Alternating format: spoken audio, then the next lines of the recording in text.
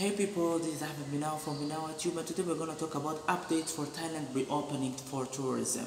And we're going to talk in particular about the Phuket Sandbox. Is it still on? Did they cancel it or it's still on and it's going to start in the 1st of July? And if it's going to start in the 1st of July, what are the good, what are the bad, what are the unknowns? Things that you have to know very well before deciding to come to Thailand on 1st of July and to take advantage of the Phuket Sandbox, which looks very attractive on paper, but of course there's a lot of things you need to know guys in this very short video. So let's start the video.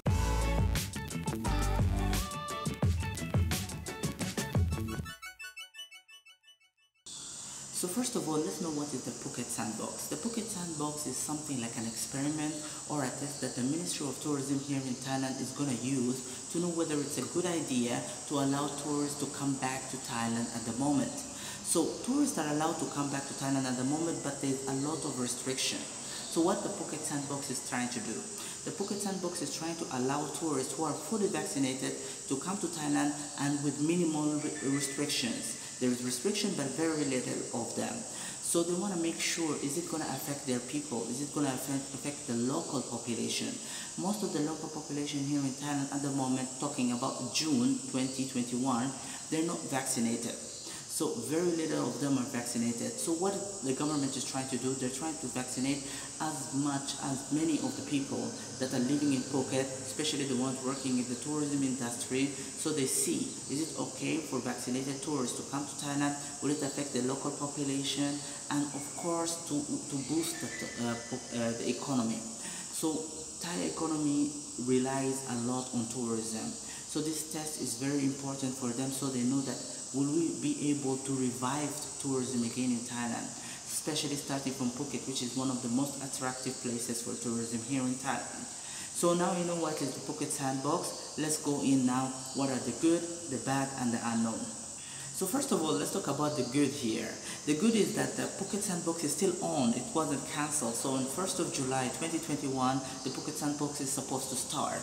So that's very good news because a lot of people were very optimistic because they didn't want to come to Thailand and spend a lot of money on quarantine, spend a lot of time of their holiday in quarantine for 14 nights. That's really crazy. So the Phuket Sandbox is really positive for a lot of tourists who are willing to come because they're vaccinated and they don't want to be in quarantine or a lot of restrictions on them.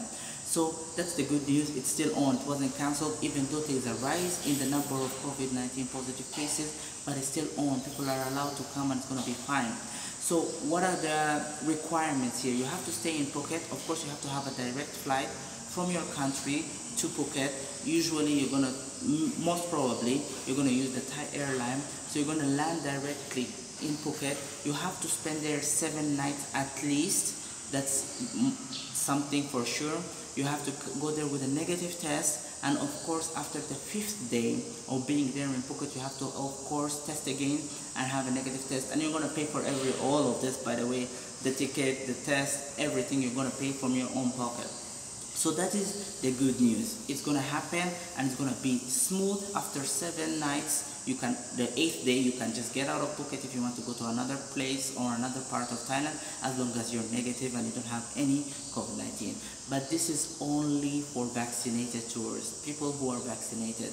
Um, tourists who are vaccinated, they can get this opportunity to go directly to Phuket and be totally free. If you're not vaccinated, you'll have to opt for the old deal where you have to go and spend two weeks which is 14 nights in uh, state quarantine and we've spent a lot of money on that. So that is the good news, it's still on. What is the bad news? The bad news is that there is a rise and a spike of cases of COVID-19 here in Thailand at the moment. Every day there is like 2,000, 3,000 plus positive cases of COVID-19 30, 35 cases of death every day, which is a very, very bad thing in Thailand because in Thailand they had dealt with this COVID-19 very, very well in the first and second wave, but this third wave seems to be very, very hard to control. It's been going on for over a month and a half and still not yet under control, and always there's clusters happening here and there. So you might ask yourself, what has that got to do with you? You're vaccinated, you will be safe. Yeah, that has nothing to uh, has nothing to do with you directly. Yeah, that's true. But most of the public uh, here in Thailand or the local people here in Thailand are afraid of tourists, are afraid of foreigners. They're afraid that if they allow foreigners and tourists to come in at the moment, maybe they might cause more problems and more harm than positive.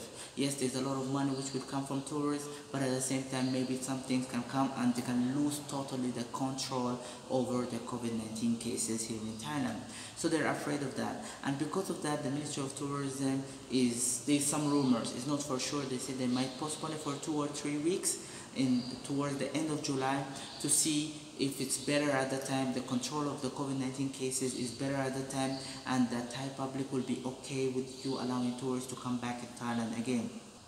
But on May the 30th, the Ministry of Tourism made a press release and said that they're still sticking to the plan, that on 1st July they're going to actually the, start the Phuket Sandbox and that's not going to change whatsoever.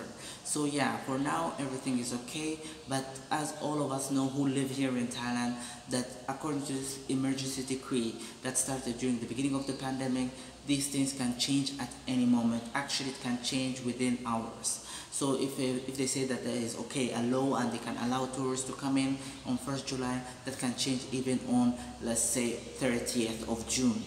And it's not gonna make any difference for the government here because they have the power to do that. So yeah guys, that's the bad news and I know it's really not nice not to know exactly what's gonna happen, especially that you might spend already money buying the ticket and booking hotels, but yeah, that's the situation at the moment.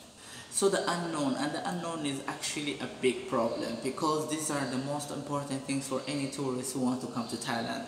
So the unknown, what do I mean by the unknown?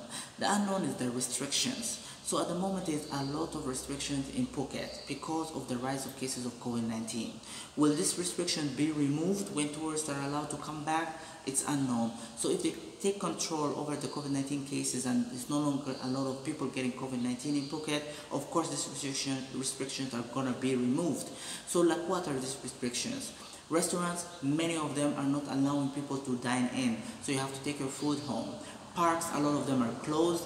Nightlife is almost dead. It's dead actually in a way. Bars are not allowed to be open.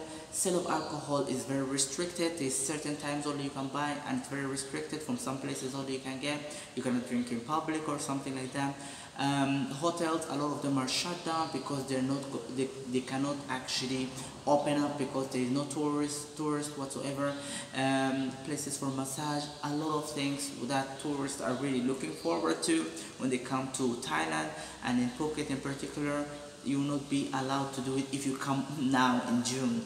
But if you're coming in July, maybe things are going to change. So these are the unknown. Should people who are vaccinated, who are vaccinated, should they put masks? Are they allowed to be in groups together? These are all unknown. The government didn't say anything here in Thailand whether for Phuket, whether the tourists who are in Phuket will be totally free to do whatever they want or they will have to follow the restrictions that are imposed on the even non-vaccinated people in Thailand. So these are the unknowns. So there is still a lot to be known at the moment and a lot to be announced. And I'm going to update you I promise I'll update you before the end of June and let you know if anything has changed. So that's it for this short video. I hope it was useful for you. Thank you very much for watching. If you like this video please press the like button. Subscribe to my channel. I have a lot of updates about what's happening in Thailand. And also uh, please comment down below in case I forgot to mention something. Thank you very much for watching